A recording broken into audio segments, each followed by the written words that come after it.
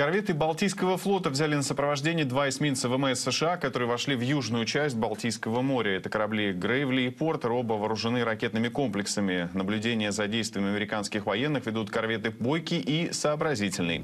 Напомню, два дня назад еще один американский военный корабль, эсминец Дональд Кук, вошел в Черное море. Сегодня стало известно, что он пришвартовался в грузинском порту Батуми. За ним также ведется наблюдение. По правилам международных конвенций, эсминец может находиться в Черном море не более 21 дня.